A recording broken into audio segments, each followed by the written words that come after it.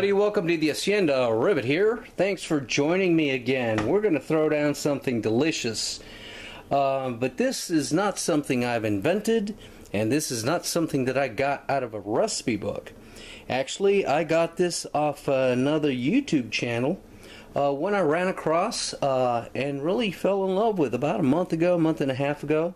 It's called Pickles Barbecue and uh, I'll put the uh, link up at the iCard above and uh, down there in the notes below.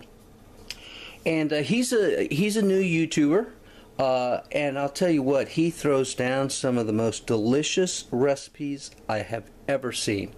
And those of you who are fans of the uh, slow cooker or the Inst- Instapot rather.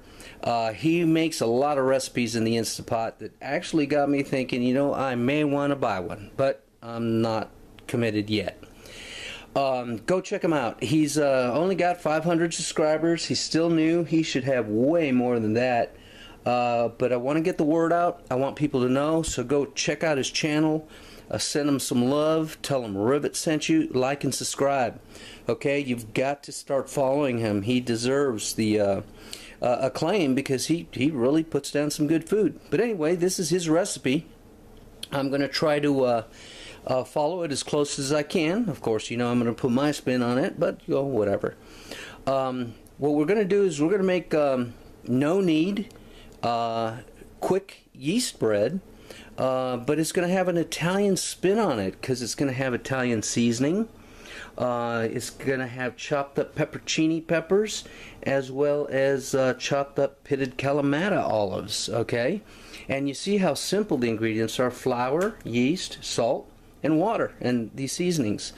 Uh, so stick with me and I'll show you how it's done. All right, so we have three cups of that King Arthur all-purpose flour to which we're going to add one teaspoon each Italian seasoning, uh, regular uh, Morton table salt, and uh, regular rise uh, Fleischmann's yeast. To that, we're going to just incorporate it really well into the uh, flour so it's evenly dispersed and then we'll add the water. So uh, join me then. Now that I've combined everything nicely in here I'm going to add a cup and a half of warm water. Uh, in this case I temped it at 120 degrees Fahrenheit. Uh, you don't want it any warmer than 135 or it'll kill the yeast. So let's go ahead and incorporate incorporate that nicely all right, I had to add another cup of water uh, to get the right consistency. Uh, he described it as a shaggy dough, which is pretty good. That's exactly what we want. Okay, so uh, in my recipe I used two and a half cups of warm water. Uh, now we're going to add the uh, chopped up Kalamata olives and the pepperoncini peppers. Okay, I drained them in a colander first. And now we're going to incorporate that into the dough. All right, so here we are. We got the uh, pepperoncinis and the olives uh, incorporated on there. So what we're going to do uh, is we're going to cover it with a baker's cloth, set it in a warm place until it doubles in size. And in this case, I'm going to stick it underneath our wood stove and uh, join me then when it's ready. So what I've done is I've got a Dutch oven that has been preheating in the oven at 450 degrees for about 20 minutes, so it's completely hot. Carefully,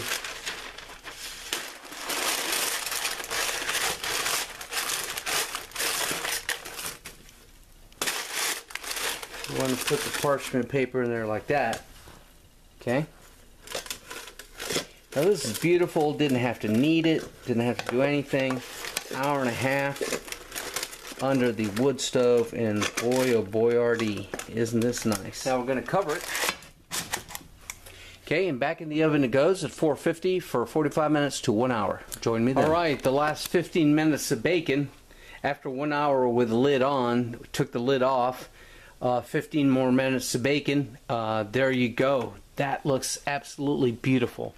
Oh, yes. Oh, my lord. Look at that steaming deliciousness. God. So soft and fluffy in the middle.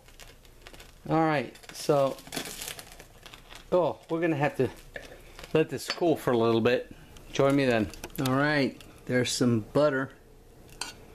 Let's get that drizzly, drazzly goodness going on there. And there's a piece with some olives and uh, pepperoncinis, and we're going to drizzle some olive oil on there.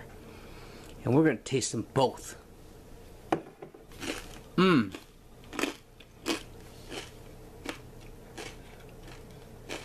Absolutely delicious. Complements the olive and the bread, but kind of clashes with the uh, pepperoncini. Alright, let's try the olive oil. Oh yeah, that's Italian. This is what you need to do. Dip this stuff in some extra virgin olive oil, people. Fantasticus. Thanks for watching. Go check out Pickles Barbecue. Like and subscribe. Send send them some love. Tom Rivet sent you. Pickles. Thanks for the recipe, brother. Love you, man. Take care.